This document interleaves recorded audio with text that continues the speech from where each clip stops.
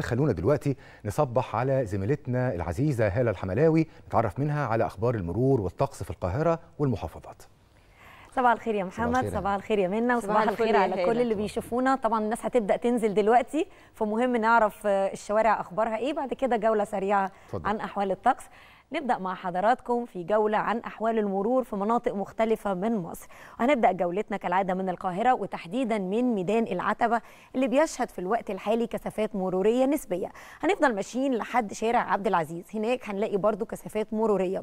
نكمل جولتنا لحد ما نوصل لميدان طلعت حرب. هناك هنلاقي سيولة مرورية هتبدأ تختفي لحد ما نلاقي بعض الكثافات قدام المتحف المصري. هناخد طريق آه، آه، كوبري أكتوبر واللي هيوصلنا لشارع رمسيس. وهناك هيكون كثافات مرورية تبدأ تقل بشكل تدريجي على مسافة قريبة. لكن هتظهر بعض الكثافات أول ما نوصل للكورنيش وهنفضل مكملين لحد شبرا مصر. هنستكمل جولتنا بقى في شوارع الجيزة وهنروح لشارع فيصل اللي بيشهد في الوقت الحالي كثافات مرورية بتبدأ من محطة المريوطية وواصلة لحد الطوابق. عند الطوابق تحديدا في كثافات مرورية كبيرة بس هتبدأ تقل بعد ما نوصل لمحطة التعاون والعريش. لكن بداية شارع فيصل بيشهد بعض الكثافات النسبية.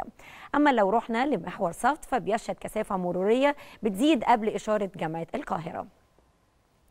في الإسماعيلية هنلاقي إن طريق عثمان أحمد عثمان اللي بيوصل ما بين الجامعة والاستاد ومجمع المحاكم في سيولة مرورية ما عدا بعض الكثافات المتحركة واللي ما بتأثرش إطلاقا على حركة الطريق. أما المتجه لبورسعيد ففي سيولة مرورية في طريق الإسماعيلية بورسعيد. هنلاقي كمان في سيولة مرورية كبيرة خاصة على الطريق الدائري حوالين مدينة الإسماعيلية. في محافظة سوهاج هنبدأ فيها من محطة قطار سوهاج واللي الطريق عندها بيشهد كثافات نسبية.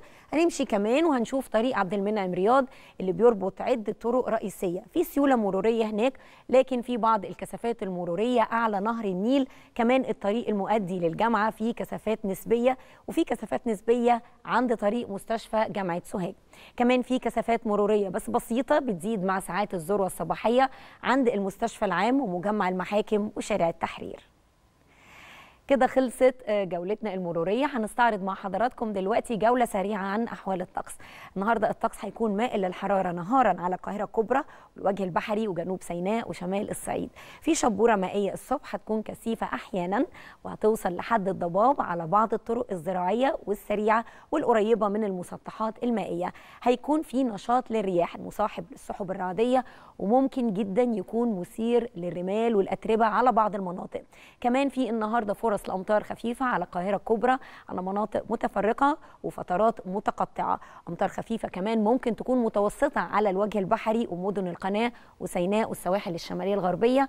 أمطار متوسطة على السواحل الشمالية الشرقية هتكون رعدية أحيانا.